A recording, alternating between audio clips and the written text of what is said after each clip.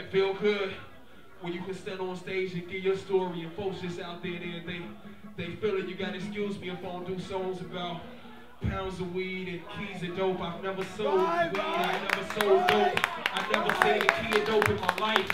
You know what it They say the the the art of hip hop is storytelling, so I tell you my real story. Yes. Check it out workers out here make some noise.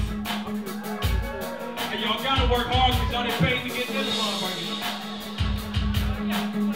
For real. Shout out to everybody in here. Whether you working 9 to 5, whether you're teaching, whether you're new here, whether you're an artist, whether you're consistent, face what up, baby, I see you. Whether you write songs, say